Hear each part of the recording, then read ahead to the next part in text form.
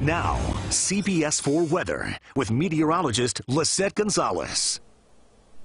Happy Wednesday. Happy Cinco de Mayo. And as we kick off your Wednesday, it's a nice, dry, quiet start. You can see from our Rusty Pelican camera just a few clouds over Biscayne Bay and Key West. Also looking good, tranquil. Some clouds around, but no rain as of yet. Thanks to our weather watcher, Sandra Kibuth, for sharing this pretty sunrise from Lauderdale by the Sea. I love the pink and the purple colors in the sky there. Real-time Doppler radar.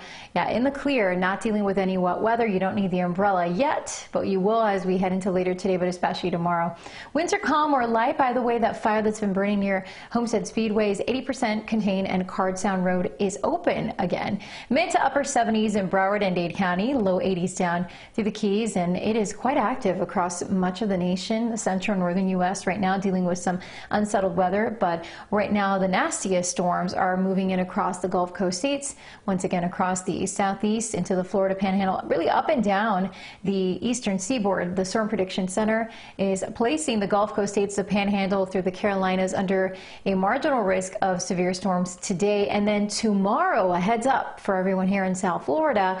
The Storm Prediction Center has placed I-95 corridor, Miami-Dade Broward border northward in a marginal risk of severe storms. However, all across South Florida, we need to stay weather alert as we'll have the isolated chance for strong to severe storms, although it looks like the worst of the weather will be likely north of Miami-Dade County. The timing would be the afternoon into the evening, and we'll see the potential, especially for damaging winds, hail, and localized flooding. So make sure you have your umbrellas handy and you keep your eye to the sky and try to be as safe as possible. Today, in order to be safe, you want to drink a lot of water. Stay hydrated because we're going to be heating up to 90 degrees and the chance for a few showers. The rain chance is low, but wow, the humidity is going to be through the roof. It's going to feel like the mid to upper 90s this afternoon, so try to stay cool however you can.